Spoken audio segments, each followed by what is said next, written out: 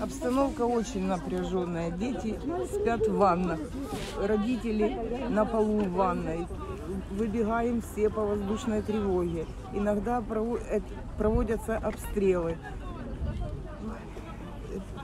Сильно страшно, сильно страшно жить, страшно знать, осознавать, смотреть телевизор, знать, что делается по новостям, э, как бомбят наш Харьков, как бомбят Киев, как бомбят Херсон, все города бомбят.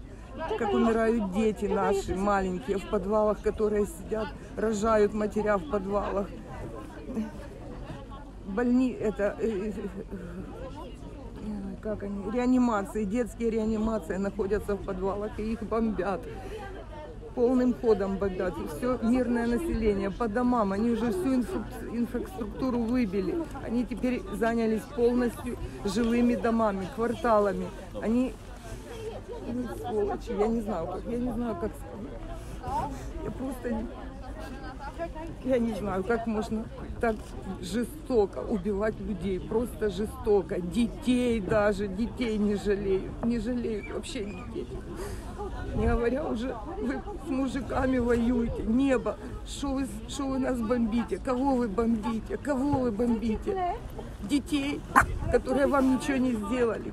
Сколько уже смертей деток маленьких, сколько уже похоронили. Вы приехали сюда, э, взяли с собой собачку, а на них это тоже очень сильно влияет. Очень влияет. Очень напуганы. Да, очень влияет, потому что э, животное не понимает, когда ты его тянешь на 10 минут на улицу и звучит сирена. И ты бежишь с ним назад, он не поймет, он не в туалет не сходит, ничего, не понимает. Ты не можешь объяснить, что надо бежать домой, потому что могут начаться бомба- бомбардировки. Очень тяжело, очень тяжело. Они напуганы, они все напуганы. А мало того, что люди, во-вторых, собаки. Но все равно мы знаем, мы знаем, что мы их гадов победим. Мы победим, у нас сильные мужики. У нас мужики сильные. С нами Господь Бог. Не мы шли на их землю, они пришли к нам. Они пришли к нам. И как мародеры эти, как мародеры, они все, все уничтожают на своем пути. Но наши ребята все равно сильные. Все равно слава Господу Богу и слава нашим хлопцам, слава нашей Украине. Мы выстоим и мы победим. Завезу, завезу Варшава. Я би хотіла говорити виключно українською мовою, але я розумію, що якщо я буду розмовляти російською мовою, то більшість людей почує мене, і можливо я зможу донести правду до них. И так получилось, что сейчас я в Польше, но э, 23 февраля мы приехали в Украину. Э, Мы живем в Польше, а у детей как раз каникулы были, и мы поехали на Украину. Мы приехали в Житомир, от того, что взрывались ракеты. Мне в голову такое не могло прийти. Я, я сейчас уже спокойнее. Но мы поняли, что все, что говорили по телевизору, мы не верили. Это, это невозможно поверить. То есть ни один нормальный человек в Европе, в центре Европы Украина находится. То есть говорили о войне, и все думали, в смысле война? Ну, наверное, что-то там будет, ну, где-то какой-то небольшой конфликт опять на Донбассе, они возобновят какие-то военные действия. Но когда я проснулась от взрывов, я позвонила сестре в Киев, я говорю, просыпайся, взрывается. Она говорит, это гром, просто гром. Я говорю, проснись. Она в этот момент она очнулась. Я говорю, быстро, собирай вещи, и мы уезжаем. Ну, потому что у нас дети, у нас маленькие дети. Только благодаря этому она быстро собралась, мы объединились и смогли. Мы два дня добирались до Польши. И сейчас мы в Польше, сейчас мы в безопасности. Но смотреть новости с Украины невозможно. У нас, у нас друзья, родственники почти в каждом городе Украины. Каждое утро. Каждый вечер мы сидим в телефонах, мы смотрим войну в прямом эфире. То есть телеграм-каналы, которые пишут, внимание, воздушная тревога, Киев, Житомир, все в укрытии. И через полчаса я пишу своим, Житомир, вы в порядке? Вам прилетело? Нет, у нас спокойно громыхнуло в другом районе. Киев, у вас спокойно? У нас спокойно. Это в центре. Вчера в центре. Возле вокзала сбили эту ракету. Ну, ну как? И люди бегут. И, конечно же, мы... Я приехала встречать просто друзей, знакомых, которые уже несколько дней были под всеми этими обстрелами. И, конечно, дети, женщины, мужчины, ну, они, они могут потерпеть, наверное, я не знаю. Ну, они мужчины. А женщин мы всех, всех зовем, всех, чтобы они и детей увозили. Дети не должны этого слушать. У детей целая жизнь впереди. Как потом этот ребенок, сколько с ним психологов будет? Когда мы их так берегли, вот скандал дома, там мама с папой поругались, может у ребеночка травма, а сейчас эти дети сидят под бомбами, под, под ракетами. Это не просто, это не стреляли где-то, не выстрелы одинокие, это ракеты летят на города. Боже.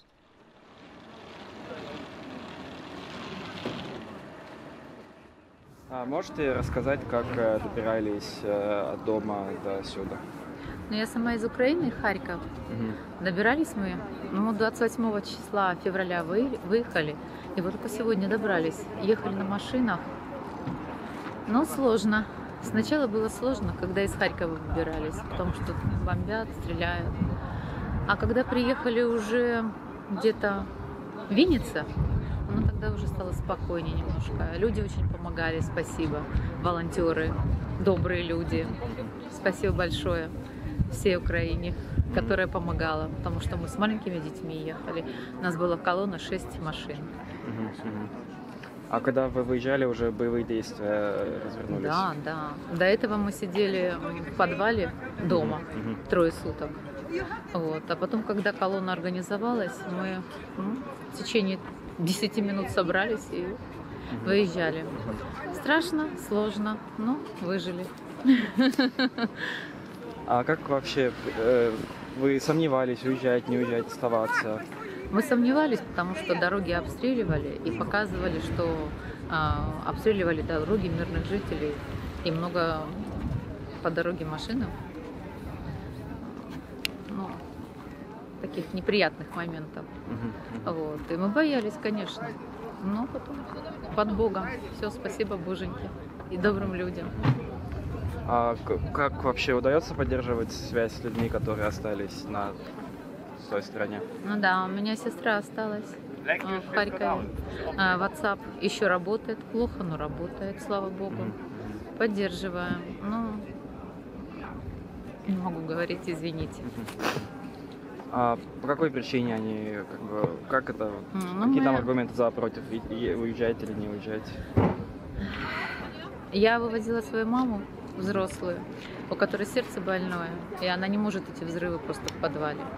А моя сестра, она врач, поэтому она осталась в Харькове. А можете еще рассказать, вот вы приехали, вот что вы дальше планируете делать? Но что я дальше планирую? Ну, молиться за Украину. Я переживаю сильно. Я сейчас еще у меня без планов, честно. Я очень на эмоциях все. Мгм. Даже не знаю, вообще растеряна. Потому что потому что все так неожиданно. Потому что, ну не знаю, растерянная. Мгм. Неожиданно все. Шок. Просто шок. Я вообще не ожидала. Вообще. Ужас. А еще можете рассказать? Я просто сам был в Киеве вот э, в ноябре, и вот только вот появились вот сообщения там, что вот российские войска на границе, что вот война может начаться, и как бы не было, с украинцами общался, никто как бы не верил, думали, Не что это все верили. провокация. Да. А вот когда вот, как вы вот узнали новость, что вот теперь сегодня началась война?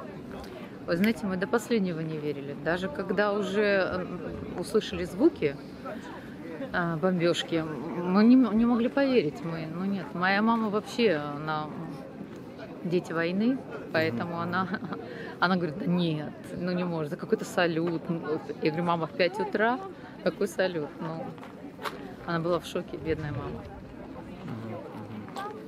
То, то есть вы узнали о войне даже не по новостям, а по звуку? По звуку, потому что мы Харьков, мы же граница с Россией. Но мы это сразу узнали. На себе почувствовали.